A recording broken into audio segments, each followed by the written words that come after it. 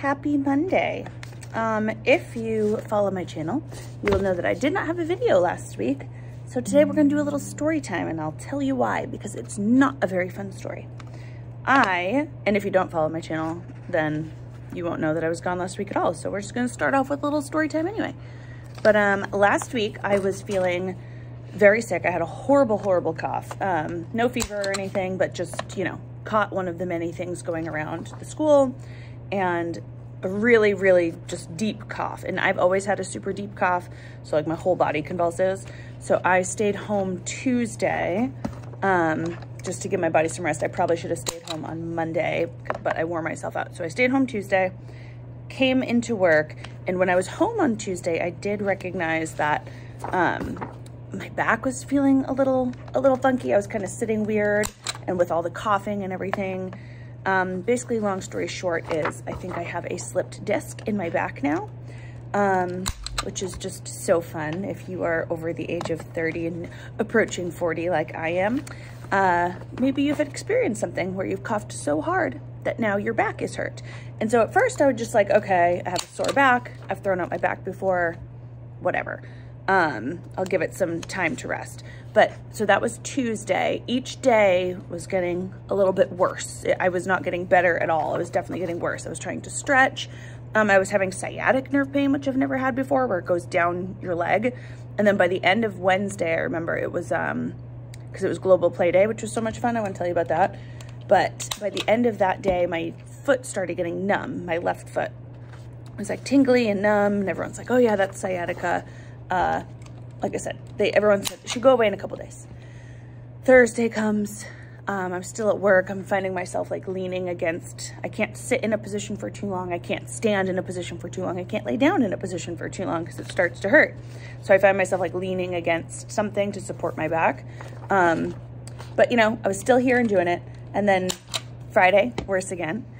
Saturday, uh, I ended up going to the ER because I was having muscle spasms in my lower back that were so hard. They were just like contracting and squeezing the muscle so badly. So it was like one of the worst pains I've ever felt and I have had two children. So anyway, I go to the ER. My blood pressure when they when I checked in was like through the roof um, from being in so much pain and they gave me uh, an x-ray just to make sure that it wasn't anything fractured. Um, they said they cannot see a slip disc on an x-ray. That would be like an MRI and a slip disc is usually uh, one of the main causes, I guess, for this type of sciatic pain. Um, and basically all I can do is just like wait it out. So I was happy that I don't have like a fracture to my bone, but at the same time I was like, oh, so I just have to keep doing this. So they did suggest I rest. They actually gave me a note, a doctor's note for today to not come in, but, and so I wasn't planning on coming in, but I have, um, there's a huge snowstorm coming tomorrow, so I don't think we'll be in school tomorrow, and I don't have anything ready for plans, so I am here in the morning, and I think I'm gonna leave at lunchtime so I can go home and rest, because they gave me like muscle relaxers and, um, what's it called, steroids. They gave me all this stuff to kind of take the edge off and to help my body from not convulsing anymore but I can't be working or driving when I'm on it. So four Advil and a, uh, a lidocaine patch is going to help for this morning. That's my, that's my goal. And I really just want it to get better because it's not getting better. And that is not cool. I keep hoping to like wake up and be like, okay, I feel fine. But um, that's not happening. So here we are. I figure since I am here, I'll give you a little update into what we have been up to the last couple weeks, um, or the last week, I should say, and then a little bit about what's on our agenda for this week. This is our last week of school, and then we have February vacation. So we've got a little bit of wrapping up to do. So let me share what we're doing. All right, so in terms of what we have been up to, let's go to the plans. We have our morning lunch, morning meeting, talk about our weekend, in phonics, we have been doing um, Unit 8, which is mostly getting students to understand the difference between digraphs and blends, but it also introduces some of the R-controlled vowels. So it doesn't necessarily need students to be able to read or write words with these vowels yet um, because Fundations is like a K through 3 program instead of a K through 2, but I do definitely have my students practice it. And over on the back wall, I started our new R-controlled section there. So we have AR car R, OR horn or, And then we're going to blend some words, smart, farm, card. After we blend each one, I, so basically when I do it, let me go back one. I say sound, sound, or blend horse, horse. So we kind of hold it and then they put that there. Um, we talk about what a horse is. All my kids will know what a horse is, but you know, sometimes we don't know the vocabulary word. So sport, then we have north. And then I think today we are also, yeah, we are also learning the three sounds, or sorry, the three other R controlled vowels that all make the er sound. So we have bird, her, and burn. And then we're going to blend just a couple here, third, fern, and nurse. And then I have students come on up to the board. And when they come up here, I'm looking for them to mark up the words. So they are being word detectives. They are looking for digraphs. They're looking for blends. If they see a digraph, they'll go ahead and underline it. Um, underline the digraph. If they see a blend, they will either scoop it. I always had scooped it in the past, so sometimes I still do that. Or they'll go ahead and draw two little lines.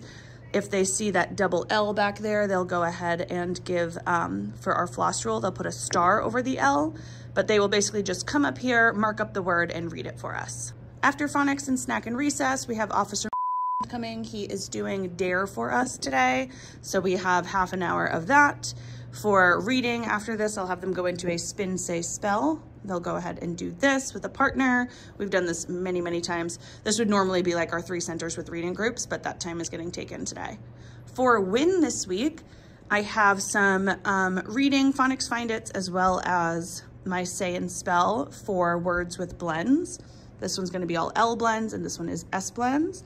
And then time to the hour review we are working on time. For writing, I'm having them listen to Somebody Loves You, Mr. Hatch, and then they're doing from down here their little writing. Um, they'll pick a Valentine and say why that person is special to them. And then for math, one of my favorite games, I have this as a freebie, but it's called Around the Clock and students basically put their game cubes up there. They will spin, or no, they'll roll the dice, move that many spaces, and this one's all timed to the hour and half hour, and then they have to color in the clock that matches. And they'll keep going until all the clocks are colored in. Then we have our February calendar. We have a new little calendar with Sally there. We will go into our math talk, true or false. They'll have to explain why. And then these are just my introduction to time to the half hour. So time to the half hour is being introduced today. What is the job of the hour hand and minute hand?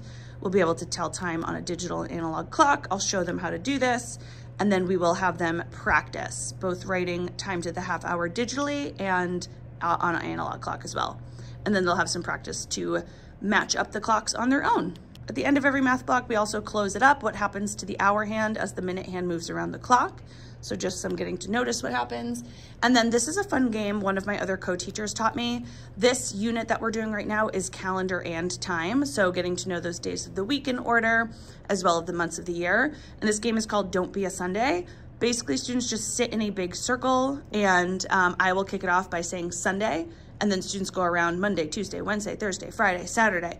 And then once somebody is the next Sunday, they have to sit down in the circle and they just see who's the last person standing. So it gets them to review the days of the week pretty quickly in a fun and engaging way. Our special is library, and then we are still doing our opinion writing. So I have these opinion writing prompts up here. I think I told you last time, but I've been having my students bring their whiteboards and markers to the rug um, to answer this using one of our state your opinion stems here.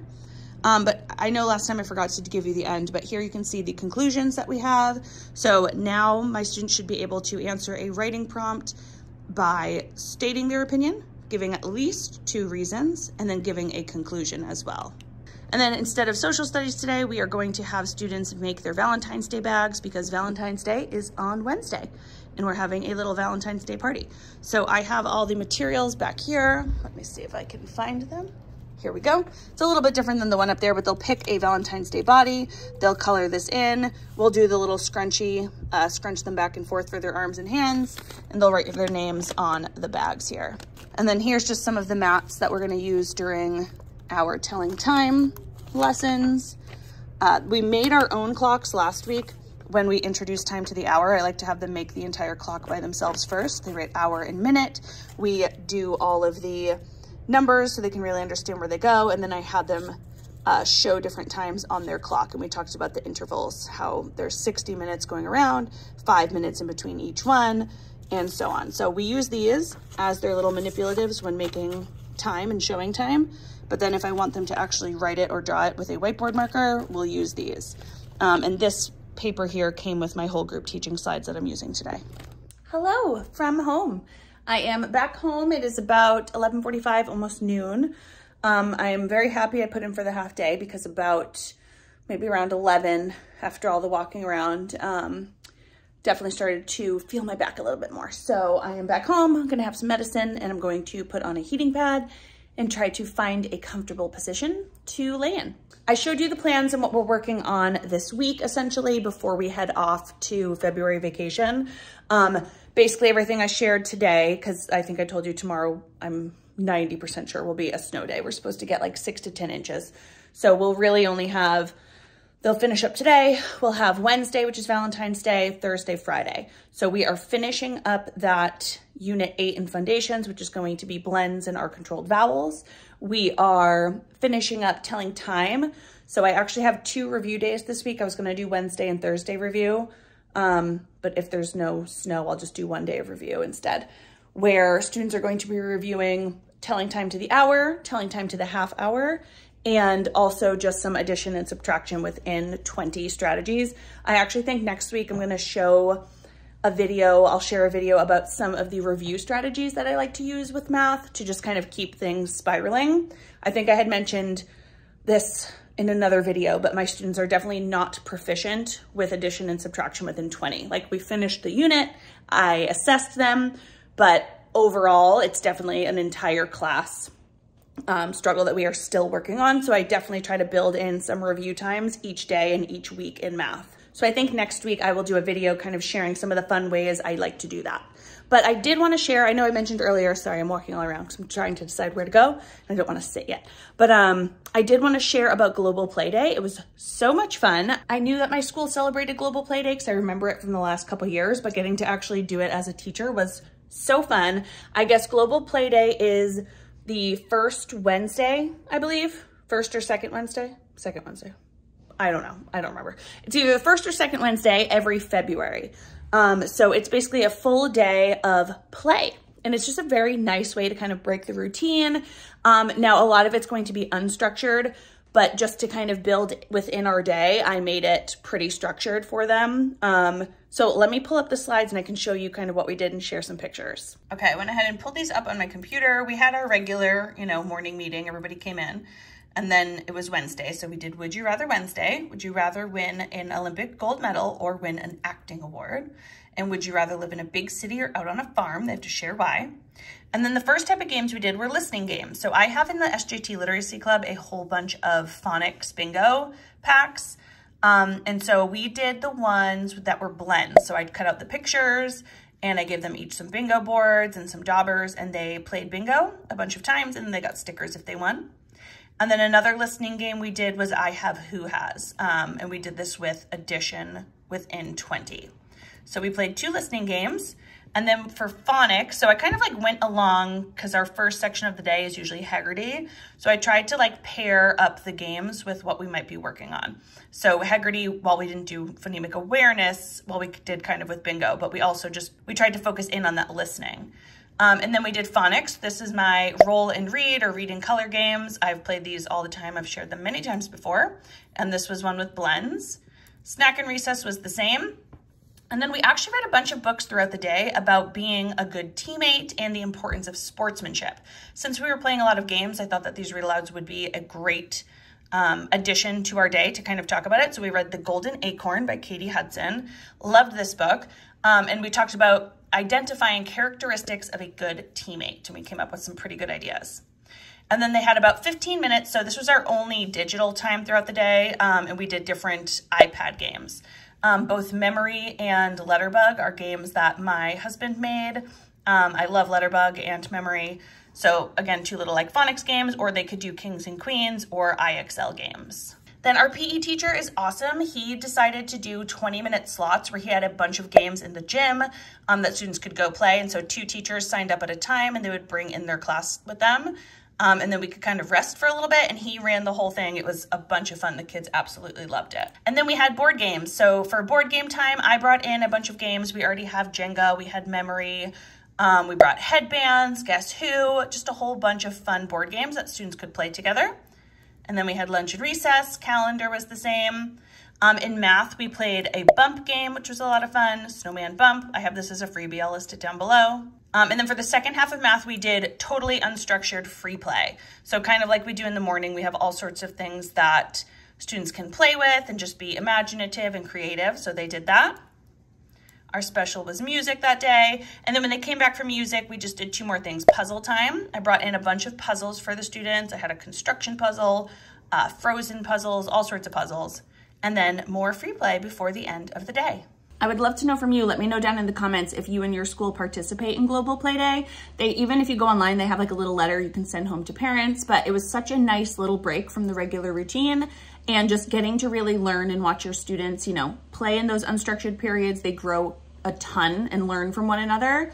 Um, and then I also loved reading those books throughout the day. So four of my favorites, I know I shared The Golden Acorn, that was already one, but here are the others we read. Sally Sore Loser, uh, the big cheese, and what is the other one in this? Pig the, Pig the Winner. I know it's up there, but I can't see it. So Pig the Winner. I read all four of those and we had some great discussions around what it looks like to be a good winner, what it looks like to be a good loser, um, how we can cheer each other on and so on. So it was a really, really fun day. I did have one last other update I wanted to share with you. Um, I know many people were, and I'm excited that you were excited, because it's interesting to me too to hear about the curriculum journey that we're on for deciding some new literacy curriculum.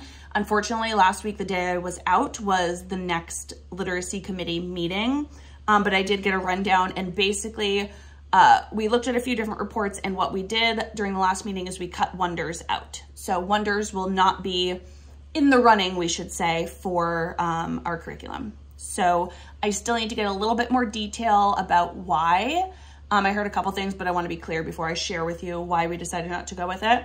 But yeah, no wonders, and we are moving on with the process, and we're going to meet with some publishers, hear what they have to say, hopefully get our hands on some of these materials, and then see where the next steps take us. So I definitely will remember to be updating you all. All right, on that note, I know I didn't share too much, but that's kind of all my brain can handle right now um, in terms of what we are up to these days. So as always, I do hope you enjoyed this video. If you did, please give it a thumbs up so I know. Make sure you are subscribed to my channel and click that bell. That way you're notified of every new video.